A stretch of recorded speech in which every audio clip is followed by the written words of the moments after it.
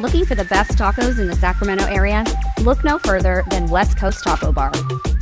Once exclusively a food truck, the opening of the new location in Elk Grove has people pouring through the doors. Every year, Yelp comes out with the 100 most popular and highly rated restaurants in the United States. And for 2023, West Coast Taco made it up to spot number 66.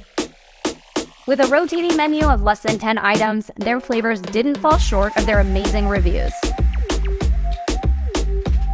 My two favorite must tries are the Dirty Diana Taco and the Bitchin' Cali Burrito, which was voted Best Burrito in Sacramento in 2020.